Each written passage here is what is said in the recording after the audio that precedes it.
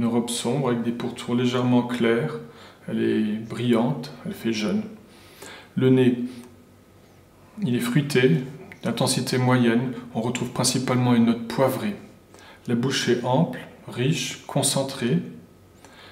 Les tanins sont serrés, un peu jeunes, ils nécessitent de vieillir.